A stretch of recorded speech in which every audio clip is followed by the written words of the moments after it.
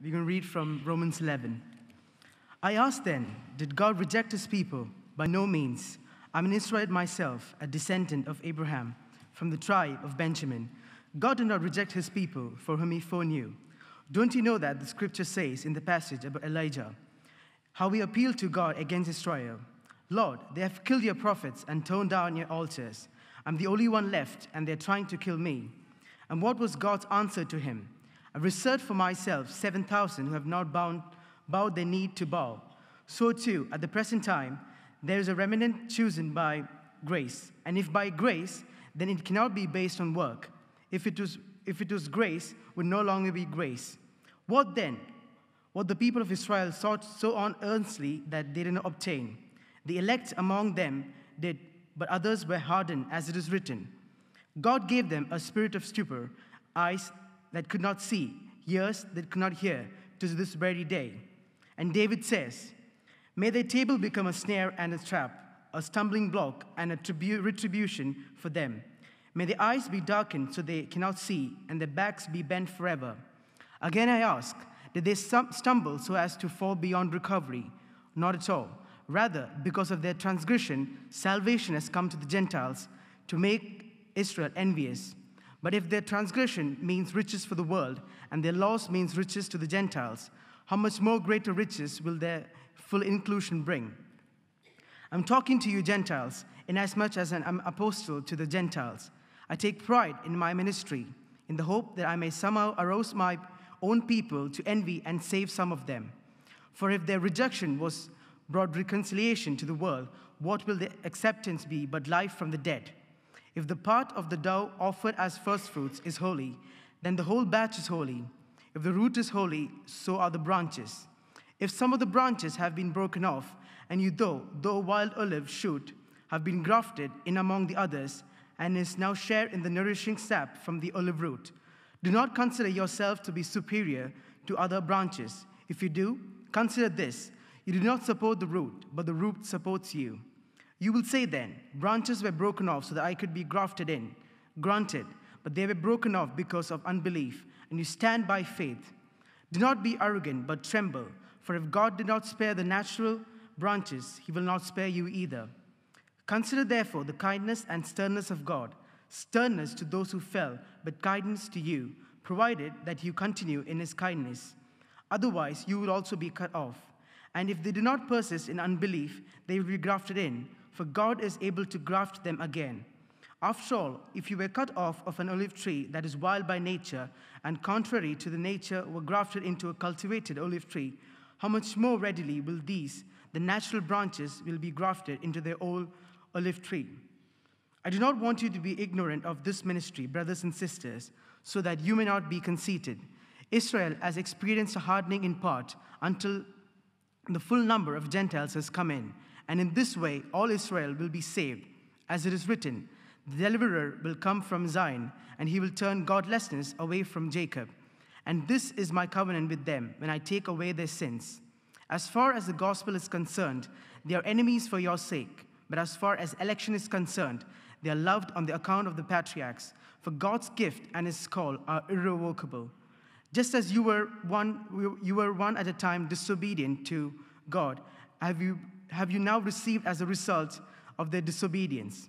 So they too have now become disobedient in order that they, they too may now receive mercy as a result of God's mercy to you. For God has bound everyone over to disobedience so that he may have mercy on them all. Oh, the depth of the riches of wisdom and the knowledge of God, how unsearchable his judgments and his paths beyond tracing out. Who has known the mind of the Lord, or who has been his counselor? Who has ever given to God, what should God repay them? For from him and through him and for him are all things. To him be the glory forever. Amen. Thank you. I think he deserves a clap for that, don't you? That's massive. Oh, I've not got my clicker here. Is it possible to have the clicker for the, uh, the slides, please? Thank you. Uh, Josh, thank you for uh, reading the Bible to us. Um, Quite a tough passage, quite a long passage. Um, don't understand it all, to be honest, but that's okay. Um, I just, thank you ever so much, Adrian. Thank you. Um, I'm going to embarrass Josh as well to tell you that he's actually one of my heroes. Um, Josh is one of the uh, best people in the church at inviting others to come along. Just to ordinary church, he's amazing. He'll invite loads of people. And do you know what? You ought to ask him how they find it because you might be surprised. Talk to Josh afterwards. He's a really inspirational guy. Romans 11. Let's pray, shall we? Father, please send your Holy Spirit to us, that by his power we may understand your words this hard passage that's difficult to grasp. That by his light we may see the beauty of Jesus. And that by his deep work in us, our hearts will be drawn after your heart.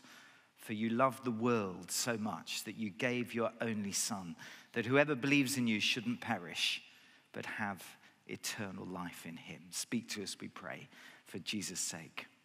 Amen.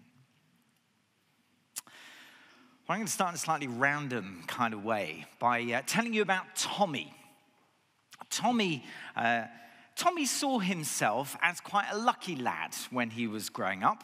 His parents were well off and they had a big house, and the big house had a big garden, but wait for it, Tommy's pride and joy. At the bottom of the big garden was a big open air swimming pool. It was his pride and his joy. Tommy loved it. He regarded that swimming pool as his very own.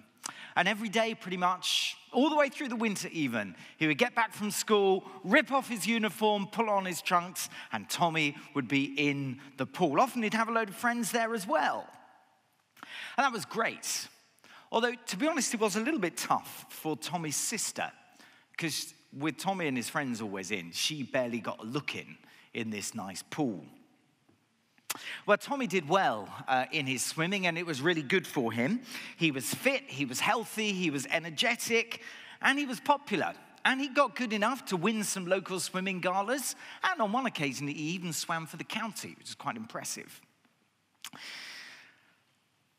But then Tommy turned 13, and for his 13th birthday, he had a PlayStation top of the range, beautiful thing. His parents were wise and they tried to set limits on Tommy's screen time, but it didn't really work. And after a while, they gave up and opted for a quiet life. Let Tommy get on with it. No trouble, really. And uh, Tommy's mates had the same model of PlayStation as well, and they absolutely loved it. Tommy would sometimes say, as he looked back on his earlier years, he'd say, why freeze to death in an outdoor swimming pool when you can have just as much fun in the warmth of your bedroom, playing on your PlayStation? And he meant it as well. Well, the PlayStation was Tommy's new pride and joy, and the pool was quickly forgotten. It was empty until Tommy's sister noticed that the pool was empty, and she spotted her opportunity started swimming, started bringing her friends along. They're having a lot of fun. There were no more swimming galas for Tommy, though. He didn't care. He, uh, he was putting on weight, actually, because instead of all the exercise, he was just vegging in front of the screen the whole time. But he didn't care. Most of his mates were the same.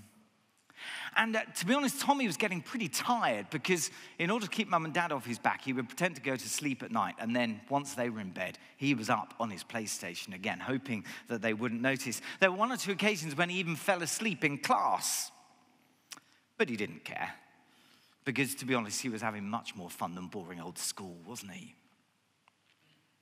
Meanwhile, Tommy's sister was making up for lost time.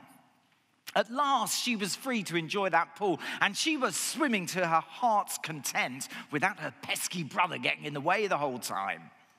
And actually, she got pretty good very quickly. And as she toned up, Tommy's sister was starting to get some admiring comments from some of Tommy's friends. Tommy didn't really notice until one of his friends started to fancy her.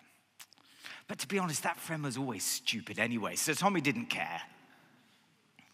Until one day, the phone rang. And it was for Tommy's sister. She had got a call from Swim England and an invitation to join the England junior swimming pool. That's how good she'd become, the swimming squad. That's how good she'd become. And around the same time, Tommy heard about her school report. His sister was on for seven A stars in her GCSEs.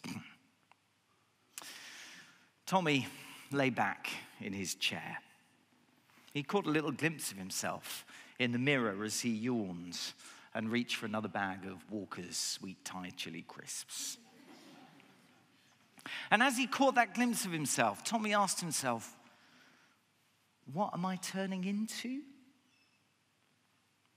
Why was his sister, his annoying sister, getting all the fun in the swimming pool?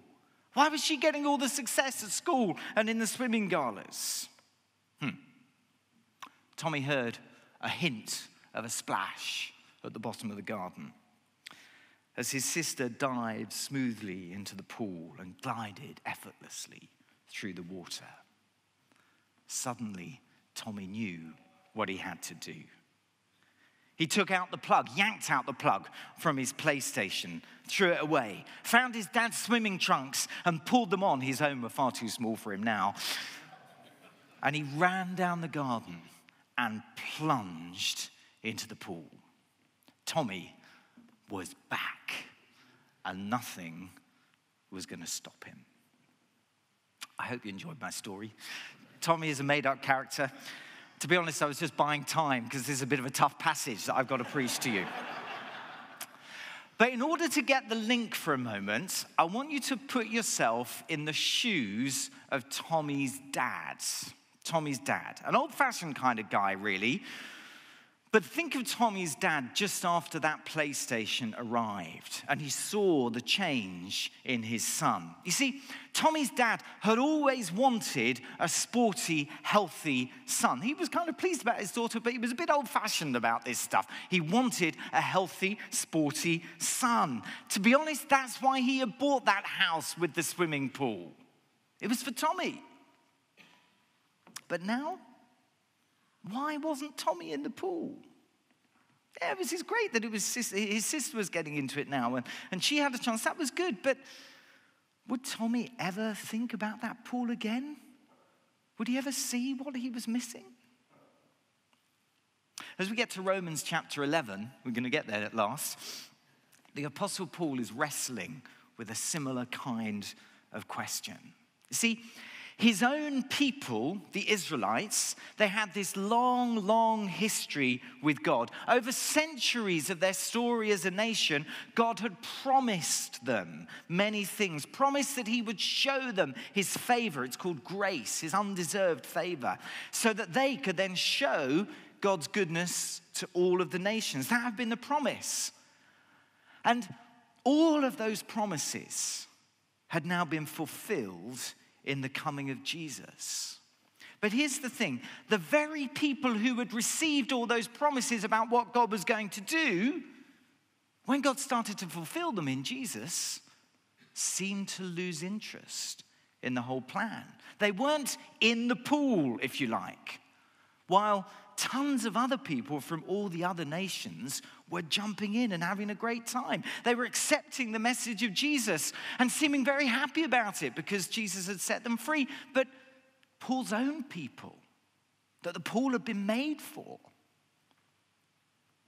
they were playing PlayStation up the road, messing around with other things. They weren't on board.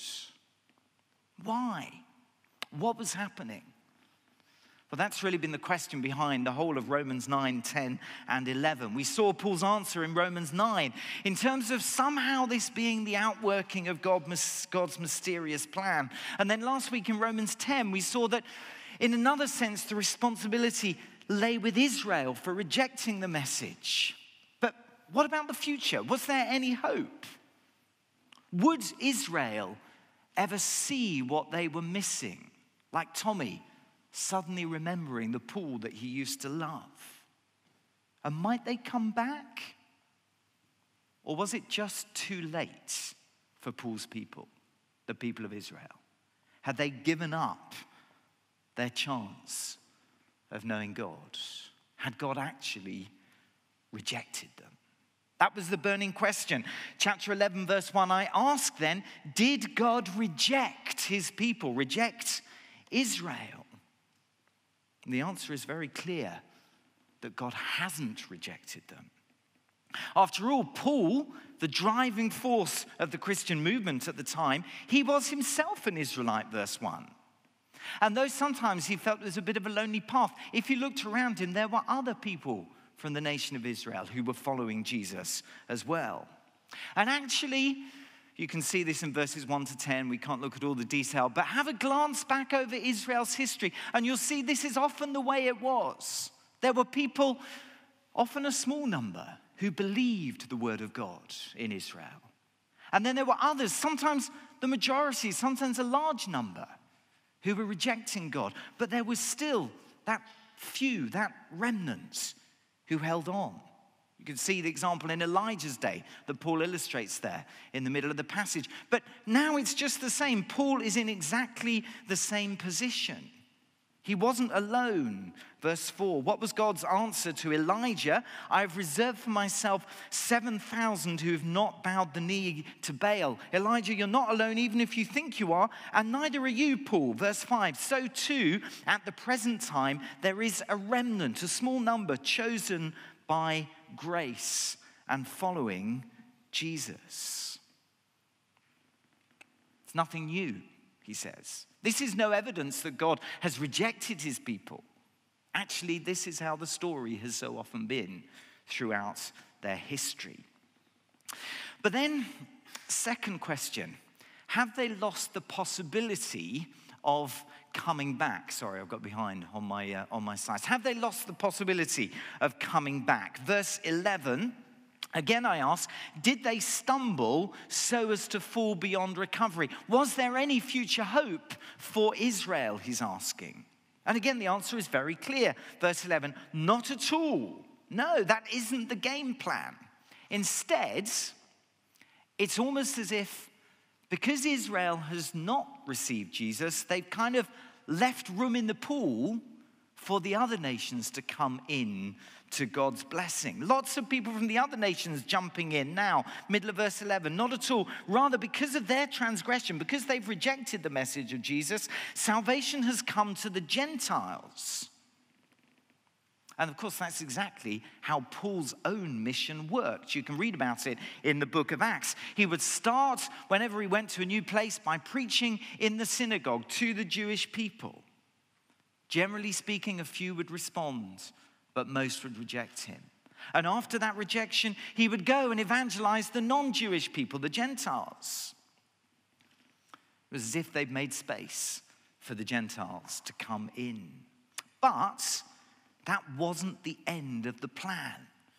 Because God's plan all the way through was that the joy of the Gentiles, the non Jewish people, in knowing Jesus would eventually provoke Israel to long for what they had so that they too would return and jump in. You saw it in verse 11, didn't you? Not at all. Rather, because of their transgression, because the, Gen- the Jewish people have largely rejected Jesus, salvation has come to the Gentiles so as to make Israel envious. In other words, they were going to see in the life of these Gentile believers what Jesus could do for them, that the Messiah had come to rescue them, that he had given them salvation, set them free, brought them back into the embrace of God. And Israel would look on and think, oh, that's what we're missing.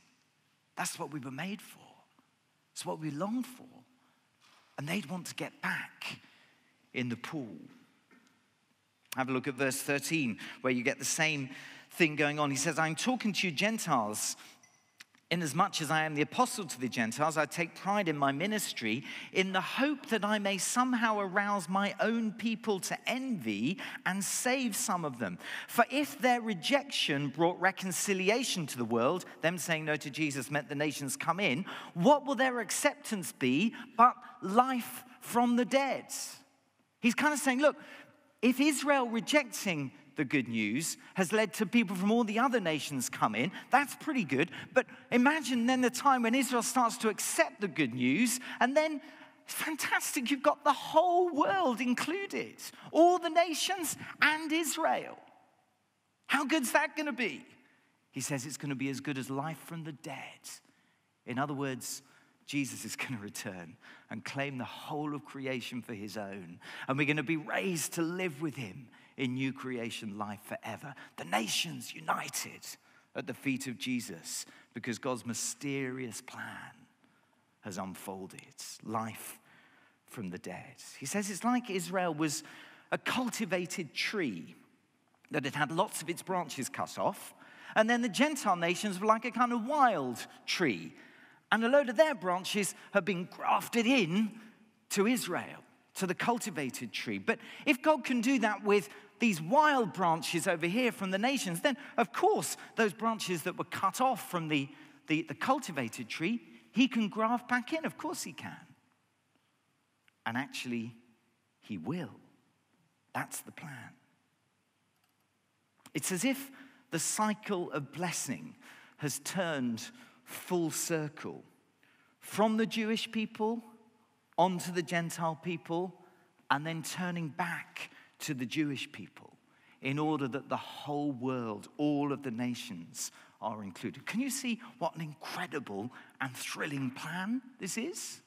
Doesn't it make you marvel and worship at the mystery of God and the strangeness of his ways.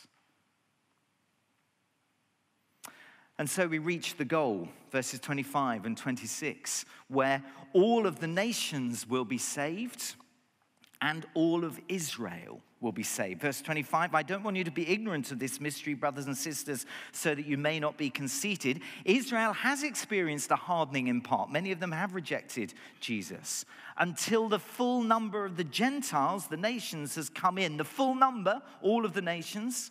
And in this way, all Israel will be saved. You get that? The full number of the nations and all of Israel. Can you feel the expansiveness of God's plan? Can you feel the bigness of God's heart? It doesn't mean that every Gentile person or every Jewish person will be saved. We might feel we'd like to believe that, but you can't square that even with the rest of Romans, let alone with the rest of the Bible. But it does mean that the heart of God is huge and that as well as planning to save a vast number of people from all the nations of the world, he does also plan to save many Jewish people too. That's almost certainly what this phrase, all Israel will be saved, means. It doesn't mean every Israelite without exception, it means every Israelite without distinction. In other words, all kinds of people, a very large number of people from among the, uh, the Jewish nation coming to find in Jesus their true Messiah and not by a back door into salvation that bypasses Jesus. What Paul is anticipating, I think, is a moment to come when such a large number of Jewish people turn and put their trust in Jesus. That, a bit like we might sometimes say, the whole nation turned out to watch the royal wedding. It doesn't mean like every single person, but loads and loads of people. So, like the whole nation was gathered. In the same way, all Israel will be saved. This is a hugely exciting prospect and something for which we should pray. God hasn't rejected his ancient people, but he has a plan for them as he has a plan for the nations. Which moves us on. God's plan for Israel, God's plan for the nations. You'll be relieved to know this is going to be much briefer, okay? Because we've already seen quite a bit of it as we've gone through. But just two strands to draw out the first is that a bit like Tommy's loss of interest in the pool opened up the opportunity for his sister and her friends to swim, so the rejection of Jesus by most of Paul's Jewish contemporaries had created this huge opportunity for the non Jewish nations to be reached, as we saw in verse 11. And the key thing is that this isn't some afterthought. This isn't some plan B. God's plan was always that through blessing Abraham's family, the family would get expanded. and all the nations of the world would be drawn into the blessing. You can read about it in Genesis 12, 2 and 3. All the nations of the world will be blessed through you, Abraham, and through your family, God says. And of course, that's the reason why most of us are here this evening. The majority of us are not from Israel, not Jewish people, but we have been brought into their story and become inheritors of their blessings. And that mission to reach all the nations, it's continuing. That's why we are still passionate to send people to reach the nations. Whether it's the nations gathered here in Southampton, isn't that wonderful? The great opportunities we have here. Or whether it's the nations in their homes all across the world, sending people to the nations to reach them for Jesus in their own communities. Why? Because this is the heart of God. He loves the world in all its breadth, in all its diversity. That's the first stage. But then the second stage is that the believers from the nations, the Gentile believers, become part of passing the blessing back to the Jewish people. I just want to say, I'm not talking here about the current politics of the Middle East. I'm talking specifically about sharing Jesus with Jewish people, like we want to share Jesus with all people. Verse 13 again.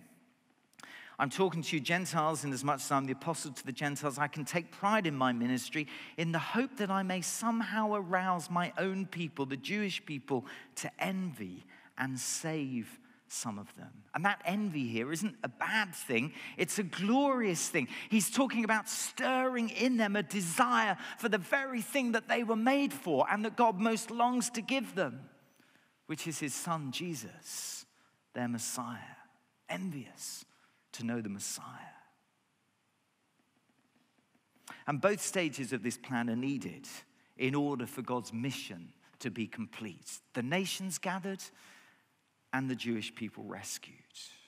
God's plan for the nations. Finally, God's word for us. God's word for us. What does this mean for us today, whether we are from a Jewish background or from a Gentile background? What does it mean? Just a few takeaways. I think we have to say in today's world, this does mean that there is no place in the church for anti Semitism. I hope I don't even need to say that, but we do need to say it. Paul had to make it clear, even in the first century, it's still crucial. It is to our great shame that Christian history has sometimes been scarred with negative attitudes or even hatred towards the Jewish people. Paul would have none of it. They were his own people, and he was passionate for their welfare. Verse 17 If some of the branches have been broken off, that's the Israelites who have rejected Jesus, and you, though a wild olive shoot, have been grafted in, that's the Gentiles coming into God's plan, and now sharing the nourishing sap from the olive root, don't consider yourself to be superior to those other branches. If you do, consider this you do not support the root, but the root supports you. In other words, if we're not from a Jewish background, it is right for us humbly to recognize our debt to the Jewish people and to recognize that we have been spliced in to their story, which is wonderful. There's no place in the church for anti Semitism. Second thing, we need to learn from the lessons of Israel's history. Verse 19, you will say, branches were broken off so that I could be, granted, uh, could be grafted in. Granted. But they were broken off because of unbelief and you stand by faith. Don't be arrogant, but tremble. For if God didn't spare the natural branches, he won't spare you either. See, no one gains God's favor automatically simply by right of birth. That was the mistake of so many Israelites. No, we receive God's blessing only by trusting his promises, by faith, verse 20. So don't make that same mistake, that same mistake yourself. Don't assume that just because your parents were Christian, if they were, you can just mess around with God and everything will be fine. That was Israel's mistake again and again. But God doesn't work like that. Whatever our backgrounds, every one of us must face the claims of Jesus for ourselves. God only has children, He doesn't have grandchildren. Don't make the same mistake that so many Israelites made. Face Jesus for yourself and make that decision, the most important decision of your life, to follow Him. Don't mess around. Number three, care for the nations, care for the Jewish people. Because we need to keep remembering that God cares for both. Now, again, I'm not talking about uncritical partisan support for the modern day state of Israel in the politics of the Middle East. God loves the Jewish people, God loves the Palestinian and Arab people too. But we should pray for Jewish people to come to Jesus, just as we should pray for people from all the nations to come to him. I hope it's not out of turn to say, but there are some Christians who are very, very focused on praying for Jewish people to come to faith. And sometimes you think, well, yeah, but what about the nations? But then sometimes you get the opposite problem of people who are passionate to pray for all of the world, but will you ever hear them pray for the Jewish people? Both are out of step with the heart of God because He loves the whole world, Jew and Gentile.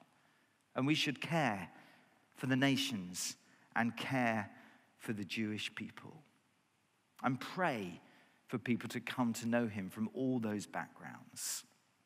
And it's crucial that we see that God's mission usually advances through the obedience and through the participation of his people. So he has this incredible plan, this plan for the nations, this plan for the Jewish people, but he wants us to be part of it. So the challenge for us is to capture this expansive, ambitious heart of God to reach all segments of our city, all the nations in our city and to go to the ends of the earth to share his love in word and deed.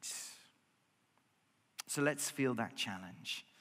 That challenge to be so set on fire for Jesus, so alive with his praise, so free in his grace, so welcoming in our embrace to others, that Jewish people and all kinds of people are actually provoked to envy and long to have what we have. I wonder, does your Christian life provoke anyone to envy? Because it's meant to. That's the challenge. And of course, that's never going to happen if we allow the slightest hint of anti Semitism in our midst. It's never going to happen if we pray for every other group of people but never pray for the Jewish people. If we love the nations but actually failed to love God's ancient people, into whose story we have now come. No, care for the nations, care for the Jewish people, because God cares for both. And finally, not quite finally, penultimately. Remember that for all of us, that's, is that a new word? penultimately. I don't know where that came from. Anyway, it means one more to come after this, but it's a quick one. Remember that for all of us, our only hope is in God's mercy. How is it that we can find the favor of God and be in relationship with Him? How can we discover the life for which we were made? Well, that's the basic question that every religion in the world wants to answer. And actually, the answer that every religion in the world gives begins with the same three letters. The letters are M E R. Every religion in the world answers the question how can you get the favor with God with a word that begins with those three letters M, E, and R? Almost every religion adds to the word the letters M, E, R the letters I and T. Merit. Merit. You earn God's favor by being good enough. That's the answer of most religions. But there's one exception. The God of the Bible tells you that M E R I T, merit, will never get you into the favor of God. He is too holy and we are too flawed. Instead, the God of the Bible adds the letters C and Y to M E R. And he tells us that our hope is in his mercy, his forgiveness, his undeserved kindness. And the great thing is, when it comes to merit, goodness, even the best of us don't really have too much of it when we're honest with ourselves. But when it comes to mercy, God is rich in mercy. He's got plenty of it. He's got enough mercy, even for John Risbridger in all his messed upness. And if he's got enough mercy for me, he's got enough mercy for you as well. And in that, we can find our hope, our security, and our everlasting life. Verse 32 God has bound everyone over to disobedience so that he may have mercy on them all Jewish people and people from all of the nations. So, whether you're from a Jewish background or a non Jewish background, the problem that we face is the same. Romans 1 to 3, we've rebelled against God, we're under his wrath, but the answer is the same too. And it's the answer that God has shown his mercy in Jesus Christ, who bore the wrath that we deserved on the cross so we could be forgiven and set free and brought home, whichever nation you may come from and whatever background you may be. Can I ask you, have you put your trust in the mercy of God? Are you still relying on your merit, your goodness? You're never going to get there. It's just dead end religion. Or have you put all of your eggs in the one basket of the God who is rich in mercy and has come to you in Jesus to draw you home? And finally, worship the God that you don't understand, but who made you and therefore who you belong to. It's how the passage finishes. And with these words, I'll close. Oh, the depths of the riches of the wisdom and knowledge of God. How unsearchable his judgments, his paths beyond tracing out. No one would have thought of this plan. Who has known the mind of the Lord? Or who has been his counselor? Nobody advises God and we're not even invited to express an opinion. Who has ever given to God that God should repay them? You'll never have him in your debt so that he owes you anything. For from him and through him and for him are all things, including you, including me. To him be the glory forever and ever. Thanks for listening. Let's worship.